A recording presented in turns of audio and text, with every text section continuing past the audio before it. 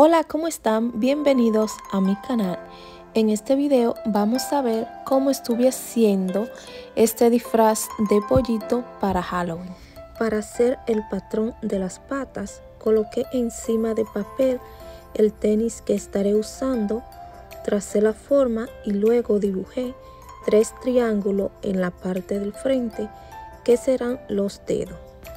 Coloqué el tenis de lado para saber el alto y dibujé en el papel para cubrirlo con la tela. Hacemos un hueco por donde vamos a entrar los pies.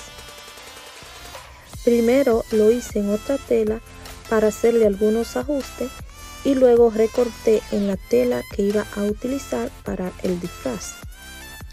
Recortamos dos piezas y recortamos dos piezas solo de la parte de adelante de los dedos.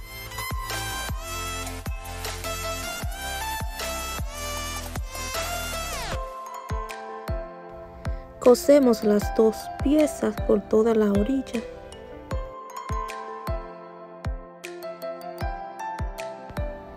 Recortamos dos piezas largas que serán para las medias. Cosemos a todo largo. Introducimos el tenis y hacemos los ajustes necesarios.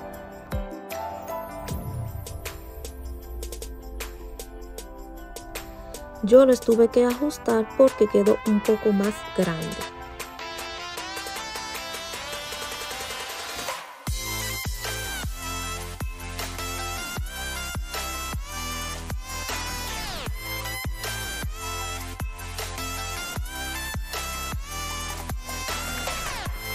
Cosí por debajo en esta área para ajustarlo un poco más al tenis.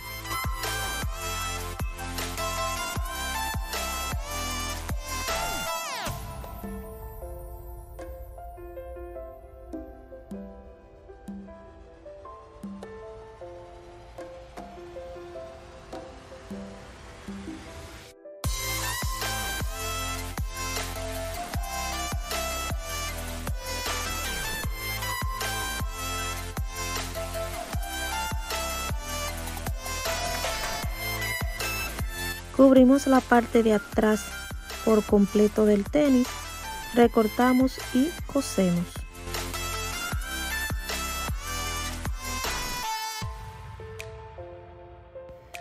Hacemos el agujero para introducir los pies.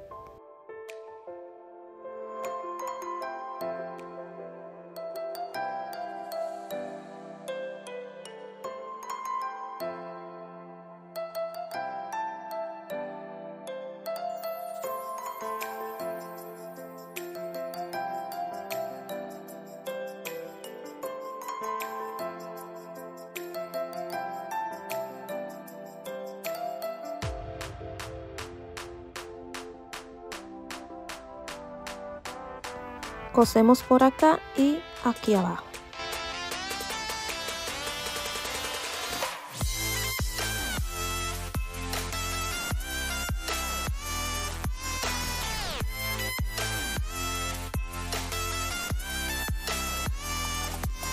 Para evitar este proceso, se podría comprar unos zapatos amarillos y unas medias amarillas para hacer el disfraz más sencillo yo ya tenía la tela, por eso decidí cubrir los tenis.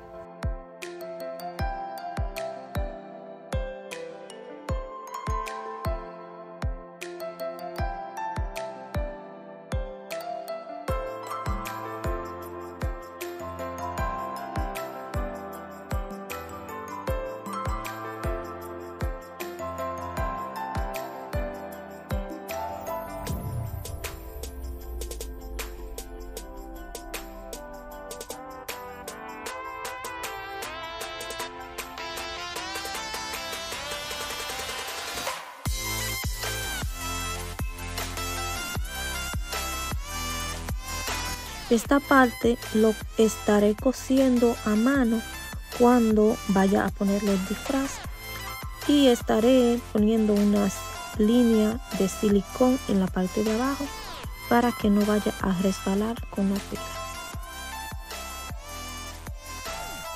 Hacemos tres triángulos con hoja de espuma y lo introducimos en los dedos para darle forma.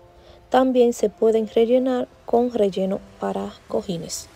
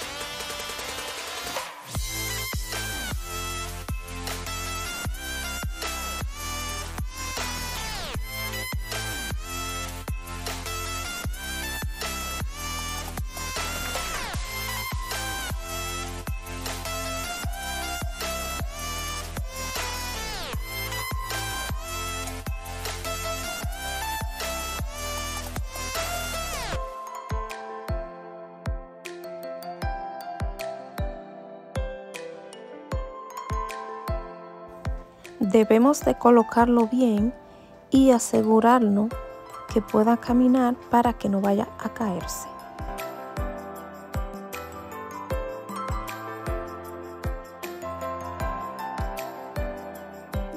Otra opción sería colocarlo de esta forma, solo arriba, sin cubrir el tenis por completo. Para hacer el disfraz, ordené este set en Shane por 4 dólares Recorté la parte de arriba del gorro y lo hice redondo para poder coser la cresta encima. Esta imagen la descargué de internet, le hice algunos ajustes y luego la recorté en tela de FED. Recorté dos piezas.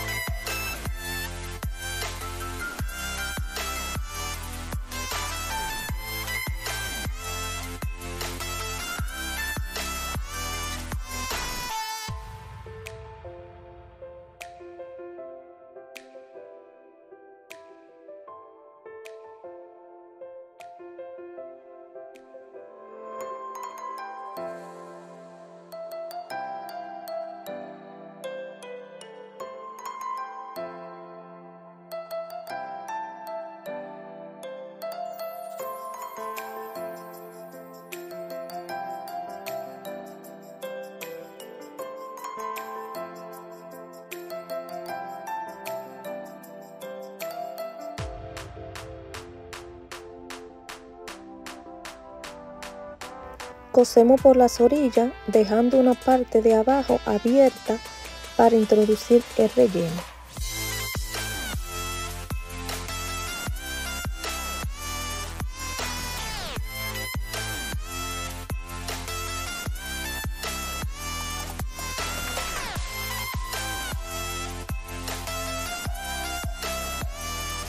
Cosemos la cresta al gorro.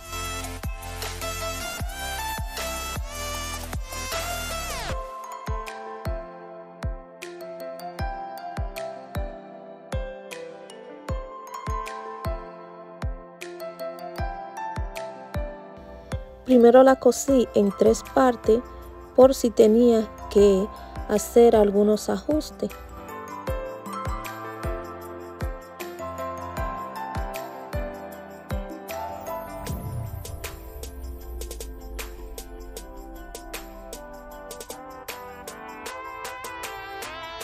Hacemos la prueba para verificar que esté en el lugar deseado y luego cosemos por completo.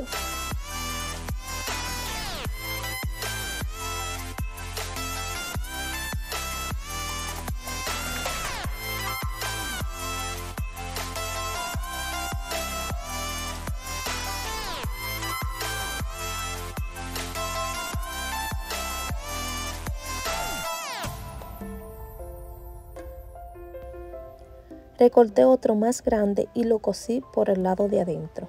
Me gustó más de esta forma con la costura por dentro sin que se viera. Para el traje utilicé un onesie y dos tiras de plumas de 6 pies cada una. Las plumas la ordené en Amazon. Empecé cosiendo las plumas al onesie porque pensaba reutilizar el onesie pero es mucho trabajo de esta forma, así que decidí pegarlas con silicón.